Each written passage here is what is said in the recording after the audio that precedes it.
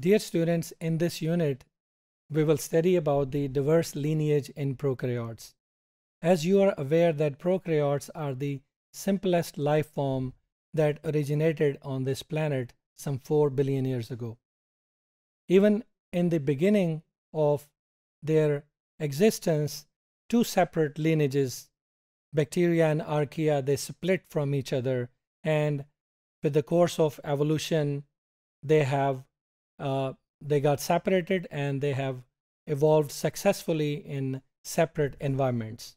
Now, bacteria they itself are very diverse and they have many different ranges that include disease causing bacteria. The example you can find Salmonella typhi, which cause typhoid.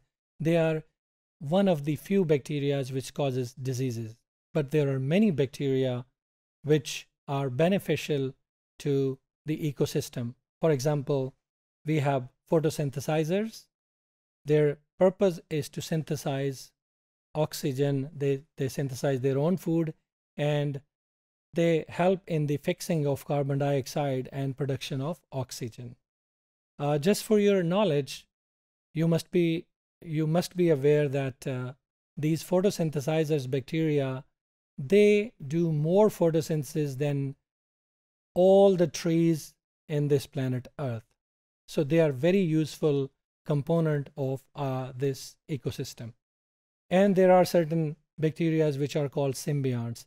These symbionts are actually the bacteria which uh, you can say that they help other organisms, they survive on them, and in return, they also help them.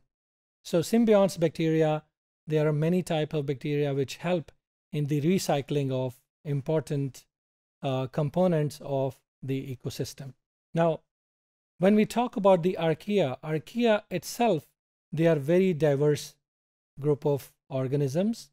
They could live in extreme acidic condition. They live in extreme hot environment, even in extreme saltish conditions. For example, uh, Dead Sea, which is uh, present uh, in Jordan, Dead Sea contains 17% salt concentration, which is the highest in the world that any sea can have. Normal sea, they have 4 to 5% of the salt concentration.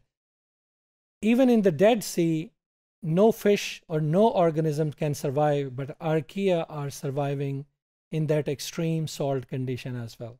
So this is the diverse uh, ecosystem where these archaea are surviving.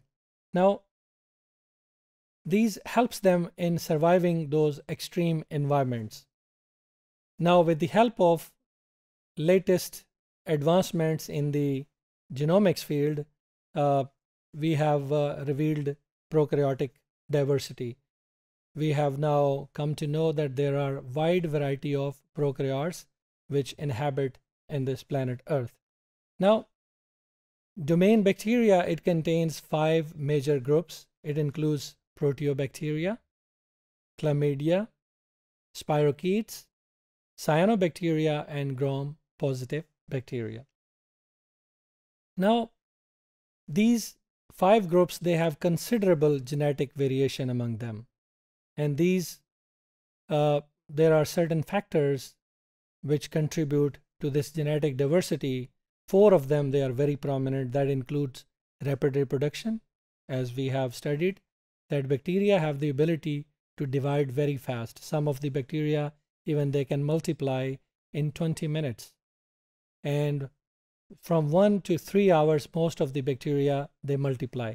So this rapid reproduction has led to their genetic diversity. Then mutations. Bacteria, when they divide, their DNA divides, they don't have any repair mechanisms. So there are chances of more mutation as compared to eukaryotic cells. And this leads to genetic diversity among them. And then the genetic recombinations. Genetic recombinations, uh, when two different uh, bacteria, they unite, they uh, leads to a genetic recombination, which leads to the genetic uh, variations and thus help them in the diverse lineage.